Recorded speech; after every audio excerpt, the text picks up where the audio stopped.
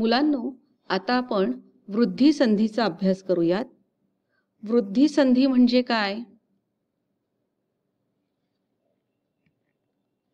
अ किंवा आ या स्वरांच्या पुढे ए किंवा ऐ हे स्वर आले की त्याचा ऐ हा स्वर होतो. किंवा अ किंवा आ या यांच्या पुढे ओ किंवा औ हे स्वर आले तर त्याचा औ हा स्वर तयार होतो. पंक्तीद्वयम पठत. आपण ह्या दोन ओळी वाचूयात. सेवान किंचित स्थिती भिक्षा नैवच नैवच. म्हणजेच एखाद्याजवळ काहीच नसले तर त्याने काम करावे. पण भिक्षा मात्र कोणत्याही परिस्थितीत नको म्हणजे नकोच. नाही म्हणजे नाहीच. असा इथे अर्थ होतो. नैव. नैवचा विग्रह संधी विग्रह काय झालेला इथे? न अधिक एव. पुढची ओळ वाचूयात. रथसैकम चक्रम भुजगयमिताहा सप्ततुरगाहा सूर्याच्या रथाला एकच चाक आहे. सर्पाच्या लगामाने आवरून धरलेले सात घोडे आहेत. आता इथे रथसैकम याचा संधी विग्रह काय होतो? रथस्य अधिक एकम. म्हणजे एकच चाक. रथाचं एक चाक. असा. रथैसेकम चक्रम म्हणजे रथाचं एक चाक. आपण खाली अजून काही उदाहरणं पाहूयात. नैतद. न अधिक एतद. न मधला अ आणि एतद मधला ए मिळून नै तयार झालेला नैतद. मम अधिक इथे काय येईल? ऐश्वर्यम. मम मधला अ आणि ऐश्वर्यम मधला ऐ मिळून ममैश्वर्यम तयार झालेलं आहे. आता इथे बघा ममौजहा मम अधिक ओजहा असा विग्रह होतो. मम अधिक ओजहा ओजहा म्हणजे तेज. ममौजहा तवौदार्यम। तव अधिक औदार्यम। तव अधिक औदार्यम। तव मधला अ आणि औ मिळून इथे काय झालंय? तवौ तवौदार्यम। आता यण संधी पाहूयात. त्याआधी ह्या दोन ओळी वाचूयात. योगक्षेमम वहाम्यहम।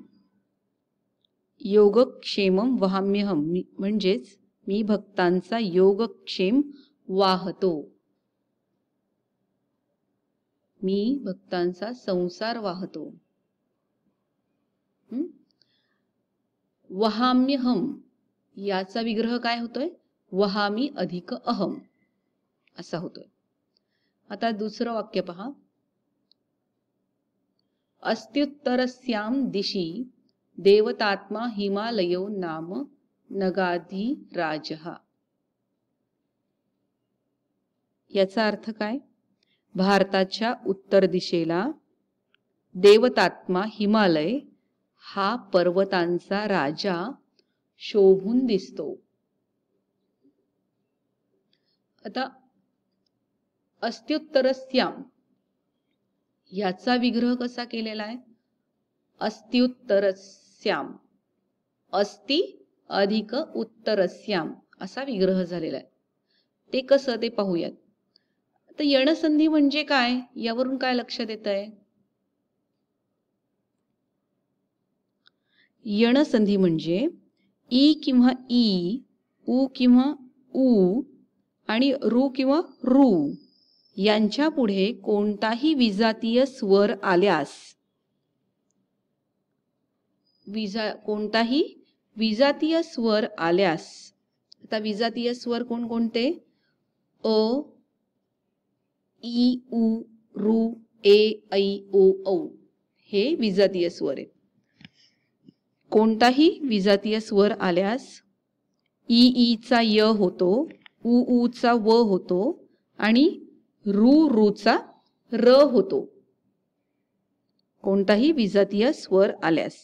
त्यालाच म्हणतात यणसंधी. आता इथे बघा ई किंवा ई पुढे कुठलाही विजातीय स्वर आला. आत्ता मी जी नावं घेतली अ ए अ ई उ रू ए ऐ ओ औ यापैकी कुठलाही विजातीय स्वर आला ई दोन्ही ईच्या पुढे. की स्वर काय तयार होतो? व्यंजन काय तयार होतं? य. उ किंवा ऊच्या पुढे कुठलाही विजातीय स्वर आल्यावर व तयार होतो. आणि रु किंवा रुच्या पुढे विजातीय स्वर आल्यावर र तयार होतो. हम्म. आता आपण पाहूयात उदाहरण. इत्यपि. इत्यपीचा विग्रह काय होईल? इति अधिक अपि. बघा इति मधला ई आणि अपी मधला अ. अ हा विजातीय स्वर आहे ना? अपी मधला अ हे दोन्ही मिळून काय तयार झालं? इत्यपि. आता पुढे बघा. करोम्यहम.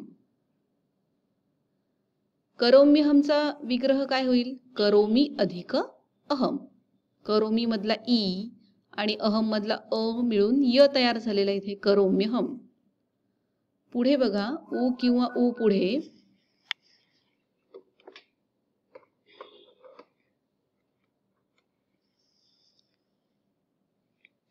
उ किंवा उ पुढे विजातीय स्वर आल्यास व तयार होतो. खलवेतत. खलू अधिक येतत खलवेतत. मनवंतरम. मनवंतरमचा विग्रह काय होईल? मनु अधिक अंतरम. मनु अधिक अंतरम. आता अयादी संधी पाहूयात. ए किंवा ऐ आणि कोपी स्वर हा मिळून अय किंवा आय तयार होतं. ओ किंवा औ कोपी स्वर हा कोणताही स्वर मिळून काय तयार होतं? अव किंवा आव. आता आधी आपण दोन ओळी वाचूयात. ह्या पंक्तीद्वयम पठत. द्वाविमौ पुरुषौ लोके क्षर चाक्षर एवच. याचा अर्थ काय? दोन पुरुष आहेत एक क्षर आणि दुसरं अक्षर. क्षर म्हणजे काय? बदलणारा. आणि अक्षर म्हणजे न बदलना बदलणारा. आतला आता यातला द्वाविमौ या शब्दाचा विग्रह काय केलेला आहे? द्वौ अधिक इमौ. द्वौ अधिक इमौ. द्वौ मधला औ आणि इमौ मधला ई हा स्वर मिळून काय तयार झालेला आहे? द्वाविमौ. हा शब्द तयार झालेला आहे. आता पुढचं वाक्य पाहूयात. माता पितराविह ममनस्त. एकाकी खलु खिन्नोहम म्हणजेच माझे आई वडील येथे नाही आहेत आणि मी एकटाच आहे. असं त्या एका कवितेत सांगितलेले पक्ष्याने चिमणीने. आता इथे माता पितरा विहचा विग्रह काय आहे? माता पितरौ अधिक इह. माता पितरौ अधिक इह. आणि याचं काय झालेलं शब्द तयार? माता पितरा विह आणखी काही उदाहरणं पाहूयात. समीप येव. याचा विग्रह काय होतो? समीपे अधिक एव. समीपे अधिक एव समीप एव किंवा समीप एव याच्यापैकी दोन्ही चालतं. कृय कृतया कृतया याही. कृतया याही. याचा विग्रह काय होईल? कृते अधिक आयाही. कृतया याही कृत आयाही. मत्यायपी. मत्या मत्यायपी मत्यै अधिक अपि मत्यायपी किंवा मत्यापी तस्मात यपी तस्मायपी म्हणजे काय? तस्मै अधिक अपि असा विग्रह होतो तस्मै अधिक अपि.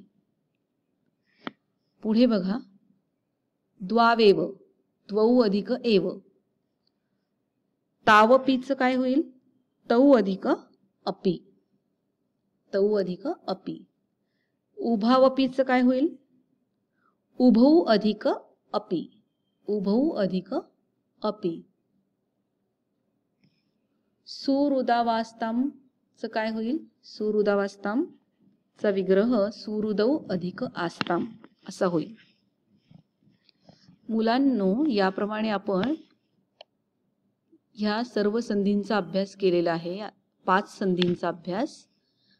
त्यावर आधारित मी थोडासा स्वाध्याय तुम्हाला देणार आहे. तो तुम्ही सोडवा म्हणजे अजून तुम्हाला संधी विग्रह कसा करता येईल हे लक्षात येईल.